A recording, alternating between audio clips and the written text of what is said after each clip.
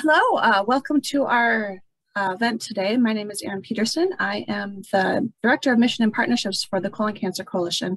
We're so excited to have you today uh, to learn about how your story can make an impact and maybe even save a life through colorectal cancer screening. A couple of housekeeping things before we get started. This webinar is being recorded and we will have it to share um, in a couple days after we've had a chance to put together some of the Q&A and things into a blog entry for it as well. So look for that link coming in a day or two. And if you have any questions throughout the presentation, please use the chat feature in Zoom to ask those questions. We will have a Q&A following the uh, entire presentation for questions with our storytellers. Um, before we get started with the presentations, I would like to first introduce Annie McGarry. She is the Senior Specialist for Corporate Events at Olympus Corporation of the Americas. We are thrilled to have them as a sponsor of today's webinar. And we are also excited to announce this morning that in addition to sponsoring this webinar, Olympus is also the presenting sponsor for our National Tour de Tush virtual event that's happening in May and is open to all. So Annie, if you can uh, I know you have a couple things you'd like to say, so if you can come off mute and turn your camera on. Can you see me? there you are.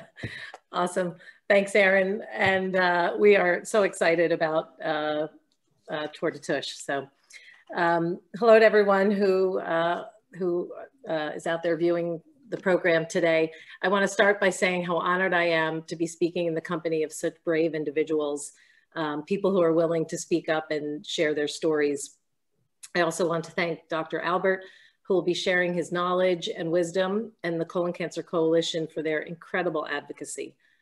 As a pioneer and innovator in the endoscopy space, Olympus is proud to say that we have been a partner with Colon Cancer Coalition for 10 years. Woohoo! Um, our uh, time with them, during our time with them, we've sponsored awareness raising events like Tour de Tush and Get Your Rear in Gear. Um, but this is the first time that we're joining forces to shine a light on an important topic, your voice and your colorectal uh, screening, colorectal cancer screening stories. This year, Olympus has an ambitious goal to gather 100 stories of the 1 million colorectal cancer survivors in the United States today. Education, advanced technology, and early screening have led to the impressive number, and we hope the stories of others, some who have um, been diagnosed early on, others whose cancer was found at a later stage, uh, will inspire others to get screened. Today, we hope you take away tips and tools to help you craft your story uh, to inspire colorectal cancer screening. Thank you. Thank you so much, Annie. And I would like to invite our next presenter, our first presenter, uh, Dr. Andrew Albert. He's the Medical Director of Digestive Health at Advocate Illinois Masonic Medical Center in Chicago. His mission is to end preventable deaths related to colorectal cancer, and through his efforts, Advocate Health System has achieved a greater than 80% screening rate. Um, realizing that traditional messaging around colon cancer prevention was not enough, however, Dr. Albert launched the social media campaign hashtag back off colon cancer in 2017. Within weeks, this grassroots approach became a nation or worldwide movement with thousands of people joining the campaign. He was honored for this work as one of 20 most inspiring Chicagoans by Streetwise magazine. He's a leader in the NCCRT Hospital and Health System Advisory Board and leads best practices in colorectal cancer screening across the country. He's held numerous community and corporate events to bring the messaging to those who need it most. I'd like to invite Dr. Albert to set the stage for us today to hear um, what you hear in your practice about how stories impact screening and what is the state of colorectal cancer screening now, one year into the COVID-19 pandemic. And don't forget, if you do have questions, please enter those into the chat. And with that, I'll turn it over. Thank you for being here. Thank you, Erin. Thank you to the coalition for having me. Um, if you think that your screens are uh, are not projecting correctly, uh, they are correct. They are they are just fine. Uh, I did dye my beard blue today. Um, I think that uh, the not only are stories important, but things that capture people's attention and capture people's interest are equally as important. Um, I feel that it sparks conversation. And so I do this yearly, and I'm happy to be here and talk to all of you about just pretty much anything relating to colon cancer and its awareness. Um, I had an option today uh, to create a whole slide deck, but the truth is we're slide decked out. We're all spending a lot of time on Zoom calls, and I wanted to make it more of a conversation. Let me just add again what Erin, echo what Erin said that uh, I'm happy to answer questions, and my clinic does start this afternoon, but I, am happy to take them in the uh, chat box. So I'm the medical director of gastroenterology and digestive health at Advocate Aurora, Illinois Masonic Medical Center here in Chicago. Uh, nice to see you all here. Um, what I thought I would do today is just give you a, a safety story of sorts and explain what that is shortly uh, and share with you the struggles we're having. Um, on one hand, you know, I've been living in this space for, for, probably the past four years, and it has been incredible to meet those with the stories that have lived through colon cancer. Um, I feel like we tell a lot of stories to each other, and it's I feel that it's so important if I could add my two cents to not only share them with each other, but also share them with those beyond just ourselves and our families to actually proactively go out there and share with other people what the struggles have been or what the wins have been um, because i think all too often we share them with each other and, and, and that pretty much is, is it um, so i had the chance to give a safety story a safety story uh, is basically a story that demonstrates in our medical community uh, in our higher level meetings executive meetings um, an opportunity, it gives us an opportunity to share a, a, almost like a fail or a, a, problem that happened uh, in care and the care continuum, because as you know, there are so many steps in care. And then at the end, talk about how you fixed the problem and how you all succeeded and you persevered and how you are going to change practice moving forward. And it's a way for doctors and clinicians and executives to all basically be on the same page with regard to health outcomes. Um, but the safety story I gave about a week or so ago um, was different. It was a story that had no ending, and you're going to be part of that ending. Um, so prior to COVID, colonoscopy was the standard of care.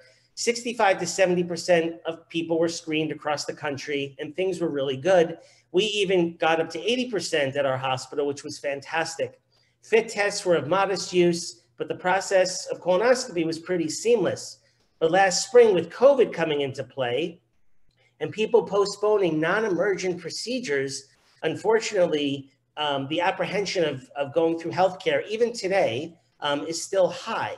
Um, from March to May of last year, colon cancer screening dropped to 10% from 80%. And all the wins we've had, all the successes we've had in colon cancer screening became insignificant because now all of a sudden the screening rates fell precipitously. Um, and so at the end of the day, colorectal cancer screening fell by the wayside, understandably, while our country was going through this pandemic. Um, the alarming numbers and statistics continued. Not only was there a drop in colon cancer screening, but there was a drop in cervical cancer screening, there was a drop in prostate cancer screening, lung cancer screening. And although this is about colon cancer, it's important to understand the landscape. Well, ultimately, um, we saw fewer, fewer cases of colon cancer. So I mentioned that we shouldn't necessarily feel reassured by the dropping numbers of colon cancer because it's not so much that colon cancer numbers are dropping, it's that the testing for it has declined. And that's a really important distinction and where you come into play in, in a short bit. Um, the data suggests that there will be a 10% increase in breast cancer, but also a 17% increase um, in colon cancer deaths in the coming five years. Um, the incredibly hard work we have all done to prevent colon cancer, and I'm so sorry for the noise, by the way. Um, the incredible work that we've done for to prevent colon cancer is now has now been coming apart, and that that's where all of you come into play. The statistics point out that we plan an approximate 100, not plan, expect about 100,000 lives lost to colon cancer in the next 10 years because of the pandemic.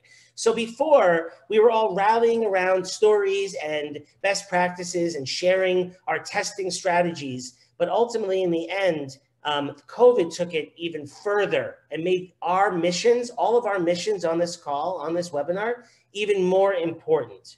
Um, anyway, I'll shorten my story to say that to all who are involved in this process, we have focused on COVID for a very long time, for the past year, actually, almost exactly a year to the day. And so now that we're finally coming out of COVID and now we're finally getting vaccinated, we're not there yet, but still getting better. My question to you is what are we going to do now? Who is going to champion colorectal cancer screening? Who is going to take this further than they've gone before? Could you do that much more? Now that we anticipate all these lives that are going to be impacted by colon cancer in the next uh, 10 years, what are we going to do differently? Yes, we could share stories, and I love the stories. My question to you individually is what are you going to do differently? Because not before, it was about colon cancer screening and sharing stories and trying to get people aware. But now you're dealing with people who haven't been screened over the past year with this sharp rise that we're anticipating, this wave coming. And so I guess my question to you is will you be that champion who has a safety story like this, where you know of these things coming down the pike? And the question is, are you going to help solve that safety story with a positive win? Are you going to take your story and take it further and inspire more people so that that safety story has just a good as good of an ending as it did before COVID? And so that's what I wanted to bring to you today is I'm not going to sugarcoat and tell you that we should screen. It's more than just about screening. It's about empowering all of you to know that we now just got set back so far in our medical community and we can use all the help we can get from you. So I hope the story resonates with you. I hope it's not too uh, abrupt but I wanted to be clear because if we're going to fight colon cancer, we're going to make people aware and save lives from it. It's important to know where we're starting from. So, all that said, um, any help you can offer in sharing your stories and your messages beyond the conventional ways, even if it means dyeing your beards blue or your hair blue, is always welcome. And with that, I will stop there because I think I'm going to go over and just say thank you to all of you for your efforts outside of the uh, GI Scope Lab. Thank you so much, uh, Dr. Albert. That was a really nice way to set the stage for what we're going to talk about and how everyone can have a role to play in screening and getting those screening rates back up. Um, those numbers are startling thinking about where we, how far we have come in the last year from where we were. So um, really the hard work that needs to get done to get those numbers back up. I appreciate your time. If you can um, stay with us for some questions and later, or if we can get you to come back, that would be great. Otherwise, uh, thank you so much for being here with us today. Sure. I would like to turn it over now to uh, Gail Fritchie. Gail is a longtime volunteer with the Colon Cancer Coalition. He is the ideator, the creator of the Tour de Tush, started back in Allentown in 2015, and now that nationwide virtual event that we talked about for May with our partners at Olympus. He became involved in planning the event while going through treatments for his own stage three colon cancer diagnosis that was discovered during his routine colonoscopy screening when he turned 50. His hope is that by sharing his story uh, through events like this and Tour de Tush, he can make an impact on um, so many communities in the fight against colorectal cancer. He openly shares his story whenever he can to make sure others know of the importance of this life-saving screening. Gail, I'm going to turn it over to you. And don't forget to our attendees today that if you have any questions, drop them in the chat and we will have a Q&A session when all the presentations are ended. Gail, take it oh, away. Okay, I do have, I'm going to share my screen here. I do have a slide deck. It's not a big slide deck, but um,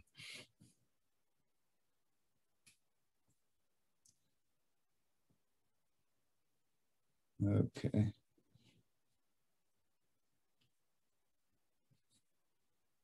Okay. Does everybody see this? Okay, am I good? Gail, I think if you, you must have two screens. If you want to look at the top of your screen and switch the view, Okay. Um, okay, I see. Is that good? go. We're good? That okay. good. All righty. Um, I've got to go back one here. All right. Uh, yeah, thanks, thanks, Erin. Thanks for uh, having me here today. Um, it's been uh, kind of a long road for me. It's uh, uh, actually coming up. I'm coming up on seven years. April 2nd, 2014 is uh, when I um, went for my routine physical or physical and, and colonoscopy at, at, at the age of 50. So I just told you what my age is, but um, I look a lot younger, right? So, um, but anyway, um, yeah, I, uh, you know, I didn't really know, know much about colon cancer. And, um, you know, I was, I've been active my whole life. I have no family history. Uh, I don't smoke. I uh, don't, um, I eat pretty healthy. I had really no, um, uh, no symptoms whatsoever. So I, I go into, uh, you know, get my colonoscopy. And next thing I know, a couple doctors are standing, uh, you know, over me, uh, you know, with a kind of concerned looks on their face and saying that we had a pretty, pretty uh, large tumor that they found. And, uh, and then that's, that's the start of, of, of my journey. So it was a matter of, you know, learning more about, um, you know, as much as I could about colon cancer.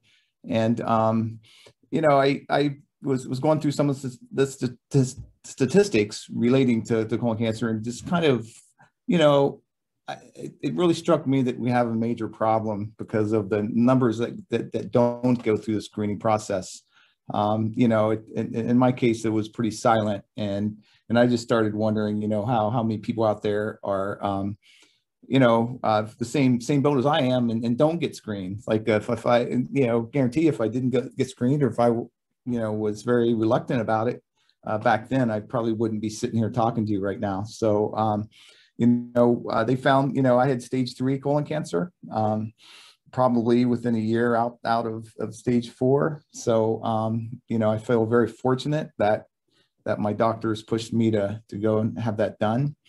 Um, and, you know, I decided that, you know, a lot, lot needs to be done in the, the, you know, we have a problem. I, I had the resources and, and, and, and really had the interest in, in helping out and, and trying to find a way to, to increase awareness. Um, so, you know, I contacted the Colon Cancer Coalition and, um, you know, they, uh, you know, they, they, they, had never done a bike event and, uh, you know, you know, talked to them about the possibility of doing one. So they said, yeah, sure. You know, so we went ahead and, uh, partnered on that and started the, the, the, the, the Tour de Tush. And, um, you know, and I, I, I got to, uh, you know, thank Andy McGeary. I've been with, you know, working with Andy for seven years now to Olympus. Uh, Olympus was actually their first sponsor, or actually our first sponsor. I walked in, um, uh, you know, Olympus, I, uh, you know, they, they're in the Allentown area. Um, that's, that's their corporate headquarters. I um, thought, you know, I knew they manufactured the scopes, most of the scopes for, for colonoscopy. So I figured that would be a good place to start. And literally, I, um, you know, they didn't know me. They just took a took a you know took a, a wild uh, you know chance, and you know they committed. It, it, took actually one day to get the commitment. I believe it was uh, ten thousand dollars for our first event. And so at that point in time, it was like, well, I think we have an event now. So so we had to to move forward, and it's been growing ever ever since. And and now, um, as Erin mentioned, it's it's national. Uh, in, in the virtual environment. So, um, you know, I've, you know, all the reasons I have on this slide deck are the reasons I, you know, wanted to, uh, you know, wanted to, um, you know, raise awareness and, you know, and, and, and, and I zero in on the save, save the lives thing. You know, we had to volunteer our first, our first event. He was actually our DJ and, uh, you know, he he he hadn't gotten screened, and um, he was like probably 65 or so. Um, he decided he better go get one, so he did. Um, he, he, his wife called me up.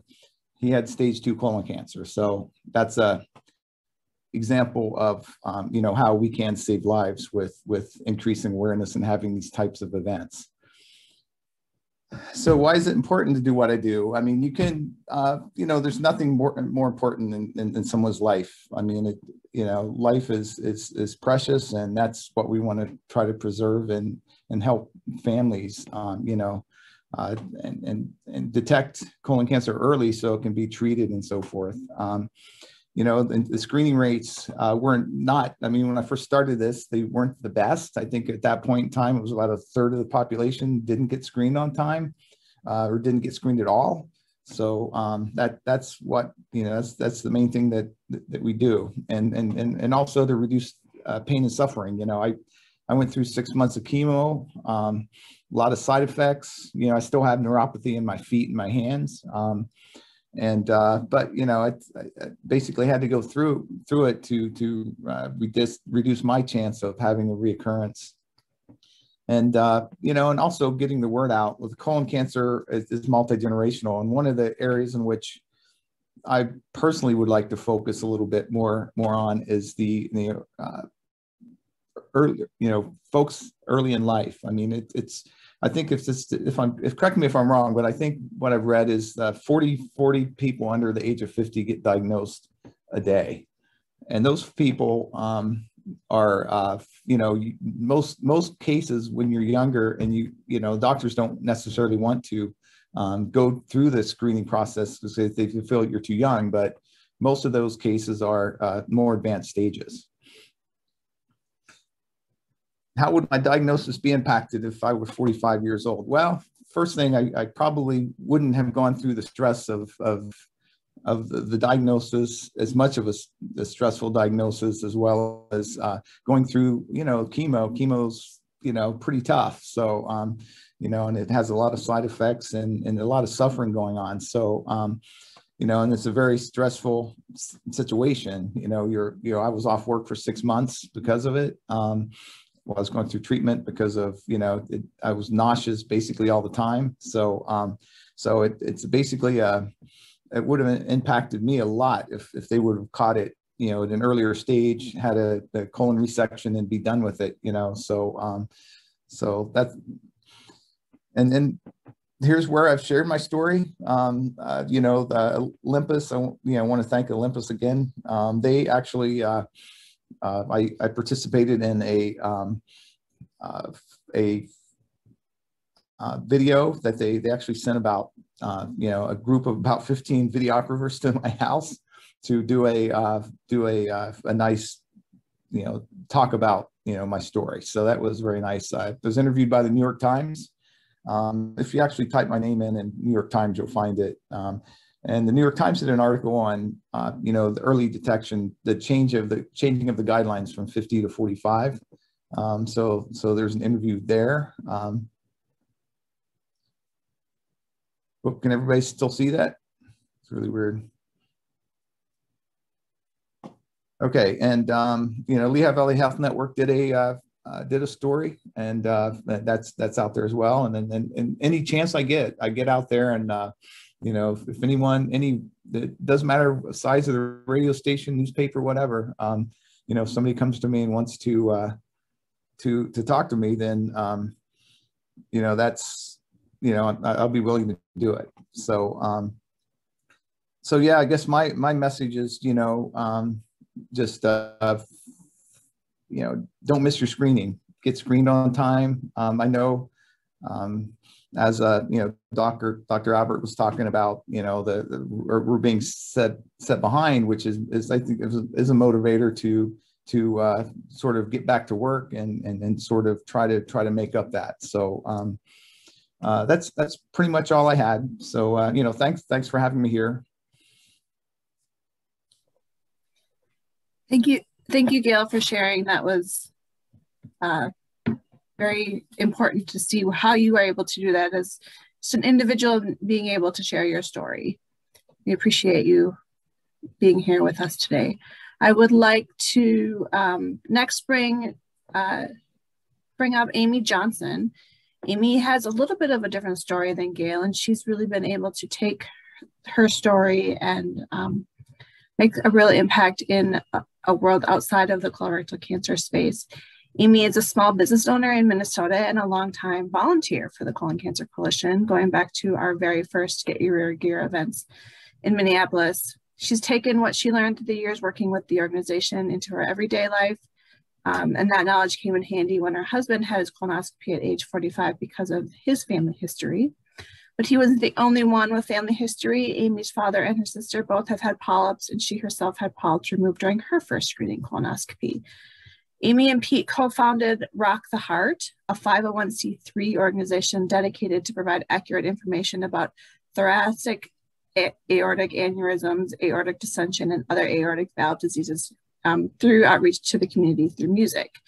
We've invited Amy to share today not just her screening story, but also how she has taken another family health emergency and made an impact through Pete's story for those living with aortic diseases.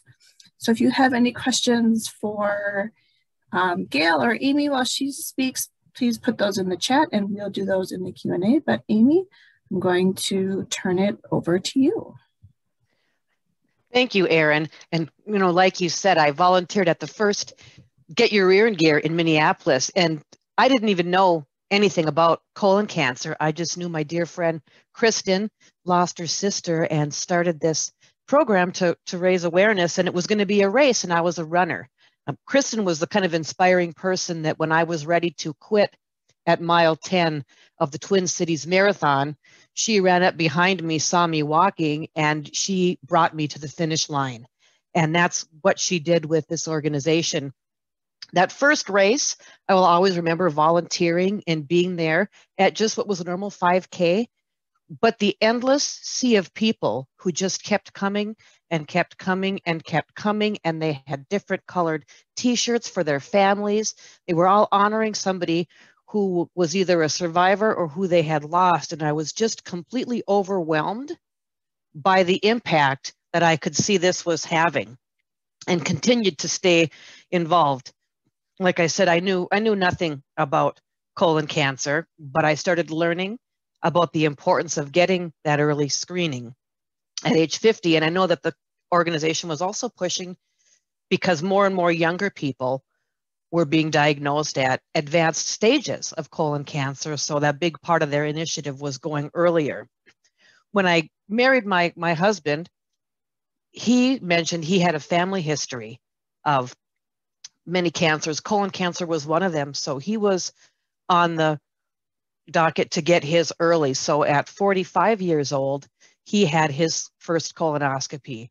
And thankfully, there was nothing found. It was it was clear but I knew, you know, he wasn't afraid. I wasn't afraid. We both understood the importance of it because of the history that we'd gotten, because of the work the Colon Cancer Coalition does to make it not a scary thing to go in and not an embarrassing thing to go in for the testing. And then you fast forward to my my son is the, the one person who I can bring in this mix as well because when he was 17, he started having some some issues. And at first, I wasn't too concerned. He, he was young. We got him into the doctor to check. They found nothing. A, a year later, when he was living on his own, turned 18, he was very ill. So he went in and for his first colonoscopy, and he was diagnosed with ulcerative colitis. And instead of it being a scary diagnosis, I almost felt relieved because I knew now that he was tested, he'd had things checked out, and because he was higher risk for colon cancer because of that condition, he would be screened on a regular basis throughout his life. When I turned 50, my sister is a year older than me. She'd had her colonoscopy the year before me, and they found polyps. And she got hers actually a little bit late, and I was due. So I did not hesitate when I turned 50 to get right in. And they did find precancerous polyps, but they were able to take care of it. I'm, I'm actually due for to go back here soon, and I'll be scheduling that for my follow-up. But my life was saved because of that early screening, because of me not saying, ah, I'll just blow it off. Ah, you know, it's not a big deal. I understood the importance of getting of getting that screening. And in most cases, because it was found those precancerous polyps saved my life. I'm sure, had I just ignored it as the kind of person that I used to be is going, ah, I don't have to go to the doctor. And you always find something else. It could be something else. It's not that. The, the most wonderful thing I think I've learned from this great organization is the importance of being an advocate. I'm going to just share kind of a fun picture here really quick. One of the first things after the races that I got involved with was they asked me if I might help with an event and I'm not sure if that's showing right. Go to my display settings. Was the the we did a booty ball. We did we did a couple these a couple years, and it was a super fun. The one thing I learned is sometimes you have to be really creative, just like the, the Tour de Tush or the 5K races. How do we get people involved versus just, you know, presentations and speakers and doctors? But what can we do to show them, get people involved, find different ways to be able to share the message? So we did a couple of booty balls that were awesome. We actually got noticed online and Minnesota Monthly Magazine came to us and offered to take some photographs and we got this really nice spread two years in a row in that magazine. In 2015, my husband was diagnosed with an aortic, aortic, aortic aneurysm and aortic valve disease that would require surgery, which was really a terrifying diagnosis when you think about that. But you know, what I learned from this organization again was that importance of advocacy and finding ways to reach out. When you've got a disease that's rare but very treatable if found early, how do you get your message out there? And before Pete went in for his surgery a few years later in 2017, he looked at me and he said, You know, Amy, if I make it, when I make it to the other side of this, I want to do something to help other people. I want to do something so that other people aren't out there searching for information and feeling as lost and confused as I did and as terrified as I did after this diagnosis. So we started Rock from the Heart, and it's just an event where we started with an idea of maybe just a small concert with Pete's band because he was a drummer. So maybe we would schedule the American Legion or a small event center. But I learned from my friend Kristen that sometimes if you want to get noticed, you have to go big. So our very first event in 2019, we rented the Pantages Theater in downtown Minneapolis and had the band Night Ranger play. And while it was just a concert, you'd be amazed by just getting out there. People see your logo, people see what you've gone through, they see what you're posting on social media, and they ask, What is this about? What is the importance about it? You know, my doctor told me I had such and such of this. Maybe I should get it checked. It's just an important thing to do to be aware of what's going on with our bodies. And the more vocal we are as, as survivors and advocates, we're going to be able to reach those people that may be thinking about it, that may have an issue, but they just haven't taken that next step to get checked, especially during COVID, like Dr. Albert talked about. A lot of people have been missing appointments, they're not going in for screenings. We really need to continue these awareness to make sure these regular physicals are, are taking place. Had, had Pete not gone in for his annual physical and the doctor heard a heart murmur, he might not be here with us today. The condition, it, it would have taken his life. And thankfully, we went in, it was found, it was treatable and he's doing great. So I'm just gonna share again really quick to go to my next slide. And I don't know if you're seeing that now because my screen kind of went weird again with my dual screen. So I'll go here. Now you should see. And one thing we learned is to start each day with a grateful heart. Um, the picture on the right is, is Pete, those first 24 hours after his open heart procedure to replace his aortic valve and his ICU nurse who was amazing. But that is our mission. We to help people who are diagnosed to find the answers that they need so that they're less afraid And now it's not letting me unshare my screen. Oh, here it is over here, technology. I'm usually really good at this. Um, anyway, that's my story. It's kind of a long one, but again, it just really goes back to everything I learned from just being a volunteer with the Colon Cancer Coalition and the importance sometimes of just being there, being involved and meeting those people. You, you never know who your story is going to touch until you tell it. And that's all I have. Thanks, Erin, for having me today.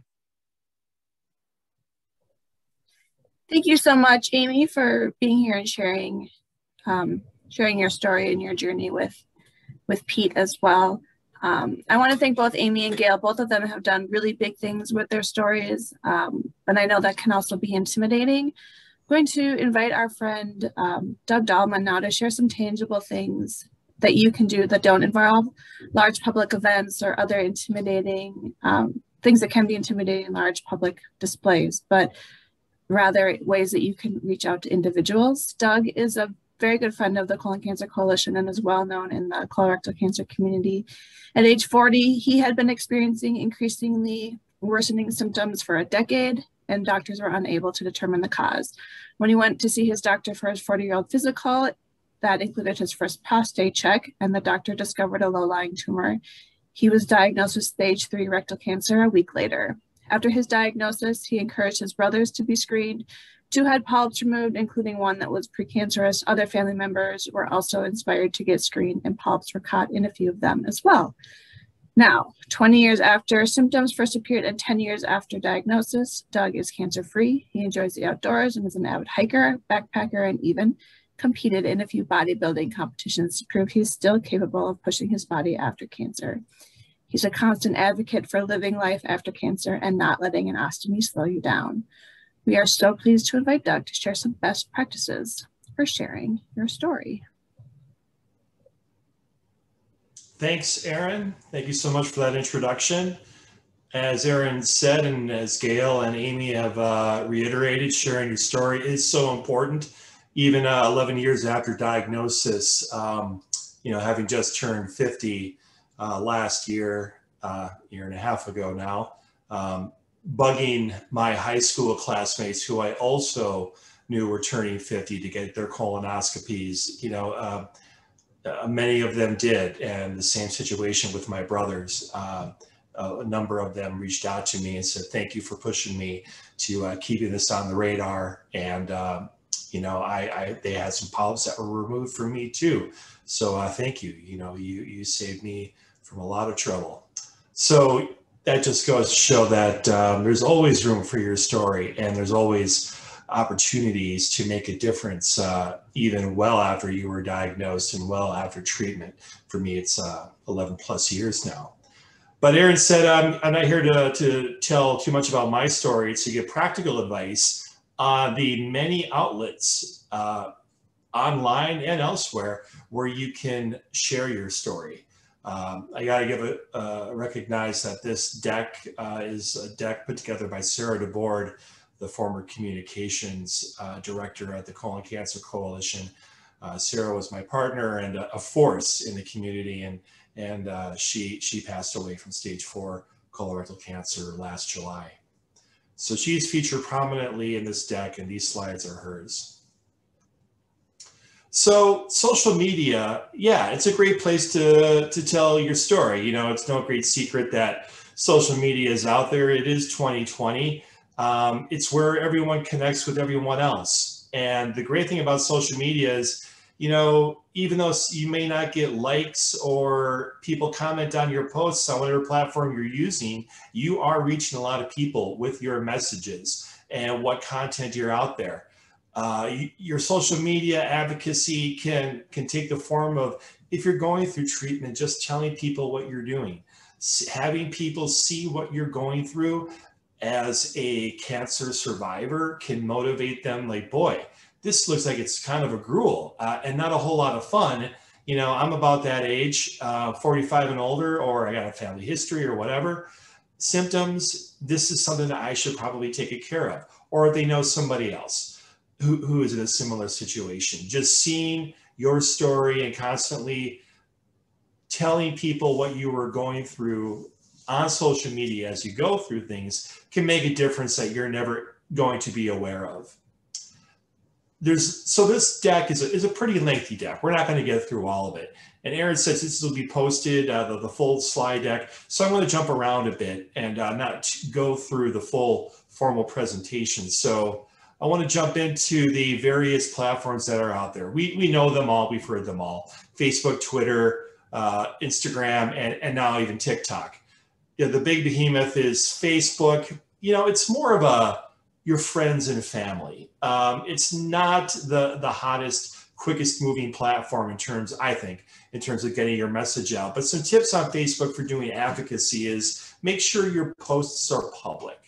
Uh, in the lower left here, you can see, uh, you know, who's my post being shared with. Here it says friends. Well, make sure that's public so everybody out there can see your posts.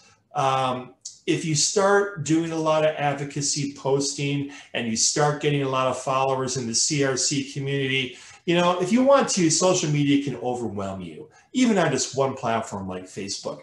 You can accept friend requests, that's fine. Uh, don't feel obligated to follow every person that follows you. Um, you can, it's, you know, you need to have your own life and uh, operate social media however you want to operate it. But you know what, you know, just have have social media. Uh, put some boundaries up around it. Um, they can follow you, but you don't have to follow them, and they can still see your content. So that's a, a very quick overview of Facebook. Instagram, it, it's a it's a visual social media platform, so let your pictures tell the story. I think Facebook is a is a fine place to post maybe a multi-paragraph uh, post or a share. The social uh, Instagram, it's it's the picture and a short description, and Instagram is more about the hashtags and of course the photo.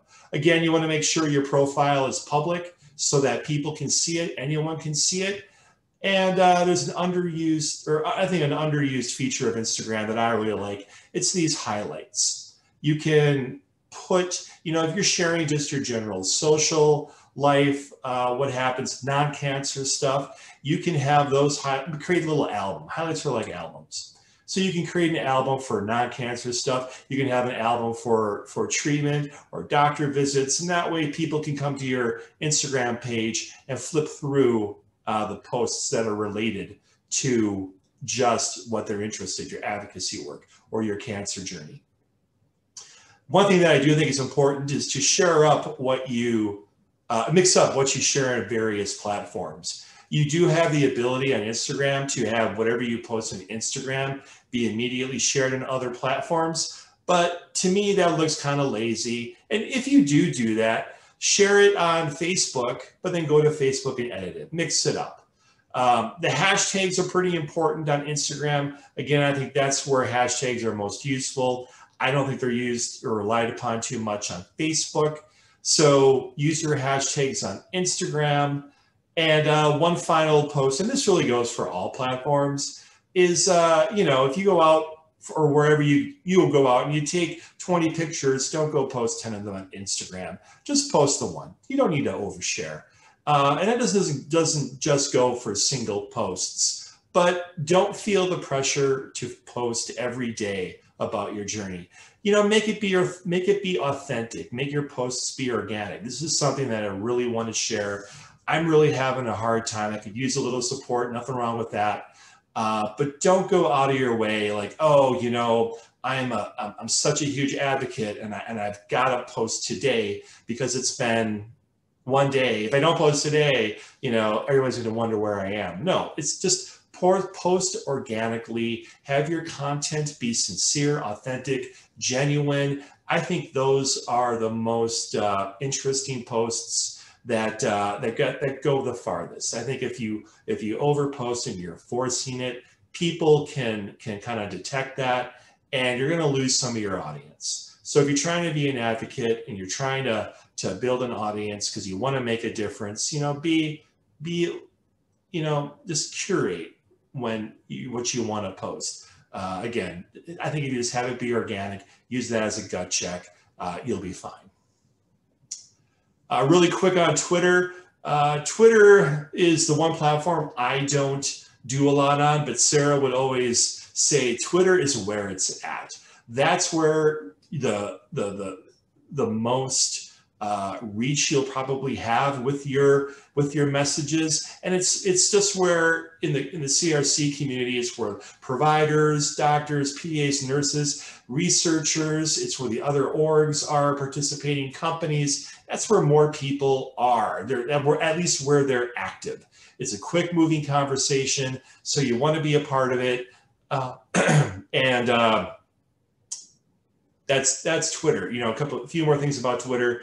It's um, you you don't get an opportunity to go back and edit your tweets. So take the time to edit, re-edit, and look at it again one more time before you post. Um, I personally, I think if I see grammar mistakes and spelling mistakes, you know, post on any platform, I kind of discount what they're saying. You know, if, care about what you're posting. Uh, if you don't care, I'm not going to care. You know, so simple checks. That's pretty easy. Um, another thing beyond hashtags that are useful to get the message out are mentions. And mentions are uh, phrases, you know, uh, tags with a, with the at symbol before it. If you, and they're reserved for people and orgs, other entities that have another profile on any of these platforms. If you mention someone or an org, they will get a notice that you've mentioned them in their post. So that's a great way to catch the attention of a company whose eye you might be trying to get. Um, and that's, you know, hey, so so so try that. And it never hurts, right? To uh, to reach out to, you know, uh, do a mention for Olympus or another organization that you know sponsors events in the CRC communities. So that's uh, so that's Twitter. I don't have a slide for TikTok, but I do see uh, people who are very active in the CRC community use that uh, quite a bit. So think of it as the video version of Twitter. Uh, again, it's fast moving. The posts, I believe, don't stay forever, but uh, but check out Twitter as well. And who knows what platform is going to be down the road. Um, I think the rules of engagement are important here. So, you know, you're, yeah, it's social media, people overpost, and we all know people who probably post things that they probably shouldn't be posting. But if you're going to be an advocate uh, in the CRC community, or really any community, think about what you're posting. Take a moment. Is this something, if you're questioning uh, whether or not it's appropriate, it probably isn't appropriate treat it like a PG-13 movie. You know, um, Sarah put down alcohol on there. You know, if you've had a few, if you've had a few, if you're doing something silly, you take a picture of it. Eh, probably don't post it on social media if you're going to operate in this well in this realm. Some things that I've learned over the years about social media, I've already talked about how honest, thoughtful, and original content can go far. I think uh, along those lines, you know, avoid overusing the hashtag Flashback Friday or Throwback Thursday. That's just, you know, to me, rehashing old content. And, you know, I know people in the community who, who, you know, just cycle through the same old, you know, half a dozen or dozen posts throughout the year. And it's just, you know, I've kind of tuned them out. Uh, I don't follow them anymore because there's nothing new to follow there. I've seen it all. Um, and the, the fourth bullet here, tying advocacy to what you're currently going through. So yeah, I look at my situation. When I was going through treatment, I had a blog post. That was my preferred platform at the time. That was 2010. And, you know, I put long, long posts, but I wrote about what I was going through. I was going through treatment. After treatment, I talked about life with an ostomy a permanent ostomy, which I, I, had to adjust to. I talked about physical recovery and being able to do the things I loved, being really physically active outdoors and just pushing myself to see what my body still could go through. That's the stuff I talked about. After five years and you get to that five year milestone, I talked less and less about my journey. It was more about life as an ostomy. And in the last uh, 18 months, through all my experiences with Sarah, you know, it's it's been more as a caregiver and, still keeping the ostomy thing going. So I think your your voice probably is most authentic um, and listened to if you talk about the things that you're currently going through. And again, the, the last three here kind of all, all tie it together. You know, as I said, don't force it. Just follow your gut and how much you should post. Uh, be you. You know, I'm not going to be, you know, if I try to act like a 20 something social media influencer, it's going to fall flat. That's just not me. And um, as far as the platforms, you know, there's, there's a couple of them we've mentioned, and that's quite a few. You can consume yourself just being completely active on one platform, but use the ones that work for you. Again, you know, it just go with the flow. Um, use the platforms your life you like, be you, and just be authentic. Uh, I don't want to uh, waste too much more time on the rest of these slides, but so I'm just going to touch on, on these really quick um, you know, it's very important, as Gail was saying, you know, you, you got to go out there and hustle and uh, be your own PR team. And there is there is a lot out there, uh, avenues for your story. When March rolls around, uh, the local newspapers, radio stations, they're looking for stories. And uh, you might think they'd have them all lined up. Well, no, they don't. So you can reach out to them and see if they're interested in having someone, uh, a CRC survivor, tell their story. You can talk to your hospital. They usually have a communications team there, an outreach team who are looking for people uh, who's looking for people for people to tell their, their story during the month of March. Uh, I did that with my provider out in Portland. Uh, same with the, and, and they put me, they did a, a separate video uh, of just kind of a little featurette about me and my story. They posted on their own internal page, uh, but they also hooked me up with a local radio or a TV station. And I did a, a quick morning segment, a little 30 second segment. So, so that's ways to, um, you know, really be your own advocate, just, just as long as, as well as in your health uh, provider world, you also need to be your own advocate in telling your story. Uh, here on media, you know, Sarah talks about all the various ways you be you should be able to tell your story effectively. 30 second snippet for uh, for a radio or a commercial uh, or, or, or a, a, quick segment on a morning talk show. 60 seconds in front of a, a legislature if you can get an audience with them. Uh, three minute in studio interviews taped interviews, 15 minutes, 30 minute interview for a phone article, all those things you should be able to um, tell your story in each of those, I think, uh, you know, in those timelines. Uh, engagement and trolls. I think this is important to talk about. You know, there's always going to be haters out there. And I was kind of shocked uh, when Sarah had she had a, an amazing opportunity to have her story be told in the New York Times a few years ago. And she had a, uh, I think she was asked to respond to a lot of the comments that were made to her article. And there was a lot of haters and she was really taken aback by that. And I'm not going to lie, it, it really hurt her. But uh, you've just had to develop a thick skin because those people are going to be out there no matter what so you gotta you gotta ignore the trolls and just don't let it get to you. But it's good to know going in that that's going to be out there. So watch out for that and just ignore those people. Um, you know, last couple of slides here. Beyond social media, there's so much you can do on the national level and the, and the local level as well there's national orgs like colon cancer coalition fight colorectal cancer has a annual event called on congress where every state uh, has a delegation that goes and uh, fight crc will set up meetings with all of their uh, national uh, representatives senators and house of representatives and meet them all and push whatever le legislative bills are related to crc uh, for that for that session of congress and that's a great event to meet many people in the community as well, and not just meet your legislature, your uh, legislators. You can also write letters, send emails, uh, you know, interact with your representatives on social media. Another org, American Cancer Society, they have a Cancer Action Network. They have a lot of going on. Just see what other orgs are doing. If you get tied with one org, you know, tied into one org, don't feel 100% allegiance to that org. There are so many other platforms uh, so many other organizations that have opportunities for you to tell your story. And really by now with, uh, as long as I've been in the CRC advocacy nonprofit world, I, know people from all the orgs and they, and they're always kind of participating or dabbling in, uh, in each of them, you know, because each of them have their own um, thing that they're really good at. And each person may want to do a little bit of each of one of those things. Try them out and see which one you like. And then if something really, you know, uh, gets you motivated, then you can pour more of your advocacy efforts into that. Writing opportunities. Sarah was a writer, so of course you're going to see a writing slide in this deck. Uh, you again, just like the radio stations and the TV stations, there are more opportunities out there than you may think. And just by the, the quick snippets on this slide, you, you know, Ostomy Connection, Cure Magazine, Elephants and Tea. There are all uh, links here on how to share your story.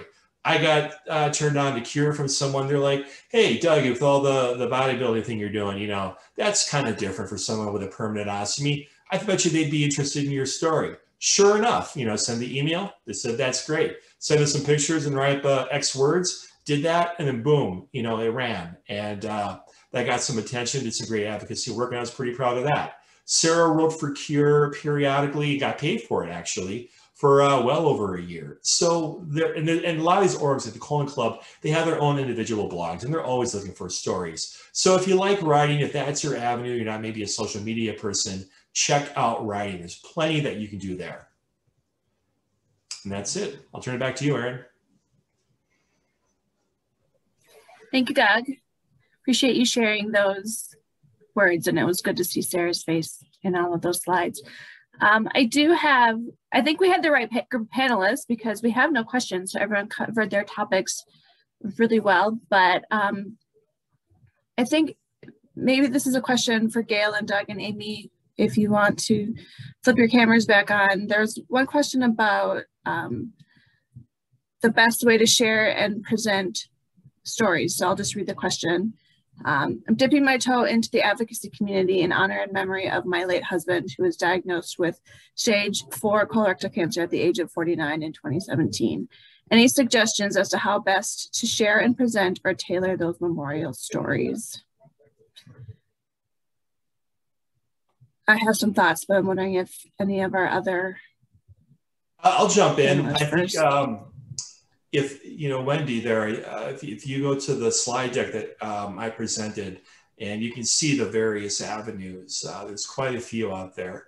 You know, Faces of Blue with colorectal cancer, colon cancer coalition, um, colon club blog posts, and reaching out to the various um, writing platforms and uh, local newspapers, uh, TV stations during the month of March. Those are all ways to get the story out. And as far as shaping it, your presentation, I think that's going to depend on the uh, platform that you that you choose. And I would echo some of what Doug said too in while he was presenting is just to be authentic and share your husband's story, share what his hopes and dreams were and how his loss has impacted you, um, your family and your extended family. Those are the stories that need to be told. And one thing that um, I always reiterate to people that are struggling is that you never know who your story will impact. It might, you know, there might be a detail that you share that really resonates with someone that hears the story and makes a difference and, you know, can get them screened or, you know, talk to people that they see having the same, in a similar situation. And I uh, could offer just one addition there, Erin, a moment. Of course. Is you know, is the biggest critical thing, and I think a lot of people sometimes miss, is to know your audience. Doug went over some of that stuff when he talked about the various platforms. Different types of people are on the different platforms, and also knowing that a lot of times is is take the time to write down your story, write it again, edit it down, and try to keep it in in certain. Like I have, I keep three different stories: the short version, the medium version, and the long version, because there's a lot of areas where people's attention spans are very short um, video can be very powerful too, if you've got an opportunity to share it that way as well. So those are just, you know, some different things, but really, really key is understand your audience and who you're presenting for and tailor your message to the audience. Yeah. Want, oh, sorry. No, please, Gail, go ahead.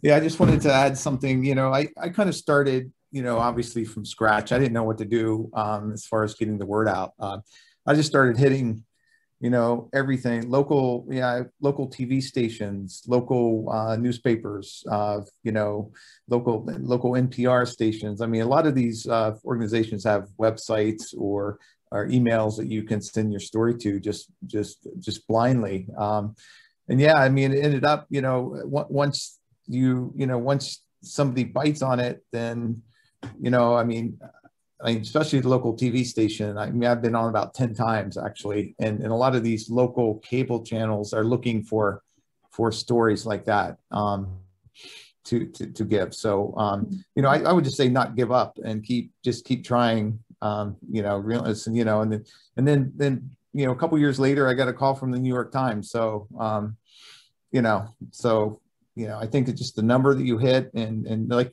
like um, others have said, you know, be genuine with your story too. Yeah.